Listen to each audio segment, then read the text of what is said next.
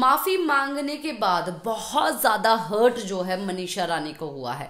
मनीषा रानी फूट फूट के रो रही है और धक्का मार दिया है फुकरा इंसान को और बोल दिया है, मैं ही गंदी लड़की हूँ, तुम लोग बहुत साफ़ लड़के हो, फुकरा, अभिषेक, एलविश, तुम जाओ यहाँ से। और इवन बेबिका भी समझाने के लिए आती है और बेबिका को भी बोलती है कि, भाई, तू जो है, तू भी यहाँ से जा, मैं सुबह तक ठीक हो जाऊँगी, मुझे यहाँ पर कोई नहीं चाहिए, तुम लोग चले जाओ, मुझे अकेला छोड़ दो।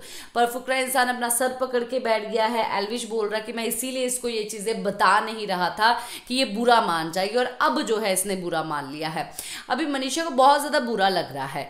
यार अभी मैं मतलब कि मुझे समझ नहीं आ रहा कि क्या करूँ, क्योंकि अगर एक जगह पर देखे, एक लड़की के बारे में अगर हम लोग देखें, ये मेरा पीओवी है, मैं वैसा ही देखती हूँ और मैं वैसा ही, मैं वैसा ही रिव्यू करती हूँ कि जो जो एलविश की गर्लफ्रेंड है, वो ये चीज़ें देख के यार ऑफकोर्स अनकंफर्टेबल और उसको बुरा तो ज़रूर लगता होगा, मेरे बंदे के साथ ऐसा कर रही है।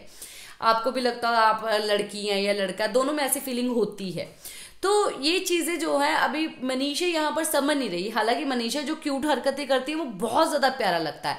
मन करता है इवन मैं खुद बोलती, काश एलविश सिंगल होता।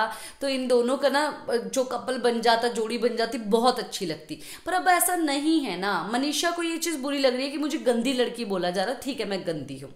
अब मनीषा रो रही है, पर ये लोग वहीं पर बैठे हैं। अभी देखते हैं क्या होता है आगे। इसी के साथ मैं लेती हूँ इजाज़त। नमस्कार।